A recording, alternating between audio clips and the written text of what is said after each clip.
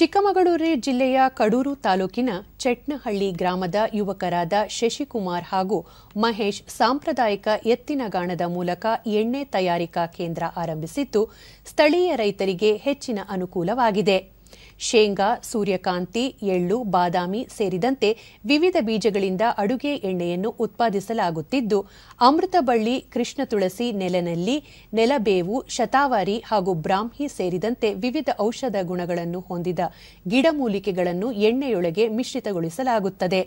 ಗ್ರಾಹಕರಿಗೆ ಶುದ್ಧ ಗಾಣದ ಎಣ್ಣೆಯನ್ನು ಸರಬರಾಜು ಮಾಡುವ ಮೂಲಕ ಚಿಕ್ಕಮಗಳೂರು ಹಾಸನ ಶಿವಮೊಗ್ಗ ಹಾಗೂ ಬೆಂಗಳೂರಿನವರೆಗೂ ಮಾರುಕಟ್ಟೆಯನ್ನು ವಿಸ್ತರಿಸಿಕೊಂಡಿದ್ದು ಇತರೆ ಯುವ ರೈತರಿಗೆ ಮಾದರಿಯಾಗಿದ್ದಾರೆ.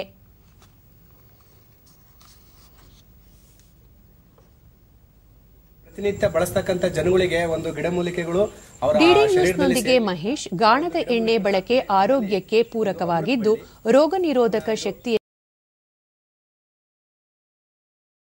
ಗುಣಗಳನ್ನು ಹೊಂದಿರುವ ಗಿಡಮೂಲಿಕೆಗಳನ್ನು ಸಮ್ಮಿಶ್ರಣ ಮಾಡಲಾಗುತ್ತಿದೆ ಎಂದು ಮಾಹಿತಿ ನೀಡಿದರು. ಇದು ಬಂದು ಶತಾವರಿ ಅಂತ. ಸರ್, ಇದಿಷ್ಟನ್ನು ಆಗ್ತಕ್ಕಂಥ ಉದ್ದೇಶ ಏನಂತಂದ್ರೆ, ಇದರಲ್ಲಿ ಪ್ರತಿಯೊಂದು ಗಿಡಮೂಲಿಕೆಯಲ್ಲೂ ಅದರದೇ ಅಂತ ಒಂದು ಸತ್ವ ಇದೆ. ಟೋಟಲ್ ಆಗಿ ಹೇಳ್ಬೇಕು ಅಂತಂದ್ರೆ ಎಲ್ಲ ಗಿಡಮೂಲಿಕೆಗಳಲ್ಲೂ ಬೂಸ್ಟರ್ಸ್ ಇದೆ. ಅಂದ್ರೆ, ಒಂದು ಇಮ್ಯುನಿಟಿ ಬೂಸ್ಟರ್ಸ್ ಅಂತ ನಾವೇನು ಹೇಳ್ತೀವಿ? ಈಗ ನಮ್ಮ ಶರೀರಕ್ಕೆ ರೋಗ ನಿರೋಧಕ ಶಕ್ತಿ ಜಾಸ್ತಿ ಆಗ್ಬೇಕು ಅಂತಂದ್ರೆ, ನಾವೇನೆಲ್ಲ ಸಪ್ಲಿಮೆಂಟರಿ ಬೇರೆದನ್ನು ತಗೊಳ್ತೀವಲ್ಲ ಅದ್ರ ಬದಲು ನೈಸರ್ಗಿಕವಾಗಿ ಸಿಗ್ತಕ್ಕಂಥ ಕೆಲವೊಂದು ಗಿಡಮೂಲಿಕೆಗಳಲ್ಲೇ ಇಮ್ಯುನಿಟಿ ಬೂಸ್ಟರ್ ಇದೆ. ಅಂದ್ರೆ ಮಾರ್ಕೆಟಿಂಗ್ ಶಶಿಕುಮಾರ್ ಮುಂದಿನ ದಿನಗಳಲ್ಲಿ ಸಾಂಪ್ರದಾಯಿಕ ಎಣ್ಣೆ ಗಾಣ ಕೇಂದ್ರಗಳನ್ನು ವಿಸ್ತರಿಸುವ ಉದ್ದೇಶವಿದ್ದು ಯುವಕರು ಆಸಕ್ತಿ ತೋರಿದಲ್ಲಿ ಮಾಹಿತಿ ನೀಡಿ ಬೆಂಬಲಿಸುವುದಾಗಿ ತಿಳಿಸಿದರು. ಪ್ರೊಡಕ್ಷನ್ ಇವಾಗ ಜನ ಕೇಳ್ತಾ ಇದ್ದಾರೆ. ಡೈಲಿ ಇಪ್ಪತ್ ಒಂದು ಗಾಣದಿಂದ ಇಪ್ಪತ್ತು ಲೀಟರ್ ಅಷ್ಟೇ ಪ್ರೊಡಕ್ಷನ್ ಆಗೋದು. ಯಾಕೆಂದ್ರೆ ಹದಿನೈದು ಕೆ ಜಿ ಶೇಂಗಾಗೆ ಮೂರು ಐದು ಲೀಟರ್ ಎಣ್ಣೆ ಬರುತ್ತೆ.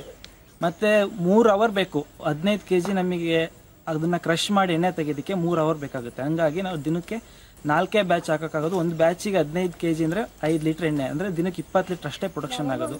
ಮುಂದಿನ ದಿನಗಳಲ್ಲಿ ಯುವ ರೈತರು ಬೇರೆ ಡಿಸ್ಟಿಕ್ಕಿಂದ ಅಥವಾ ನಮ್ಮ ಡಿಸ್ಟಿಕ್ಕಲ್ಲೇ ಯಾರಾದರೂ ಬಂದು ನಾವು ಗಾಣ ಮಾಡ್ತಿದ್ದೀವಿ, ನಮಗೆ ಮಾಹಿತಿ ಕೊಡಿ ಅಂದರೆ ಇಲ್ಲೇ ಟ್ರೈನಿಂಗ್ ಕೊಡ್ತೀವಿ, ಮತ್ತೆ ಗಾಣದ ವ್ಯವಸ್ಥೆನೂ ಎಲ್ಲ ಮಾಡ್ಕೊಡ್ತೀವಿ. ಬಂದು ಒಂದು ಐದು ಲೀಟರ್ ಎಣ್ಣೆ ತಗೊಂಡು ಗ್ರಾಹಕ ಪ್ರಭಾಕರ್, ಗಾಣದಿಂದ ಉತ್ಪಾದಿಸಿದ ಅಡುಗೆ ಎಣ್ಣೆ ಬಳಕೆ ಆರೋಗ್ಯಕ್ಕೆ ಸಹಕಾರಿಯಾಗಲಿದೆ.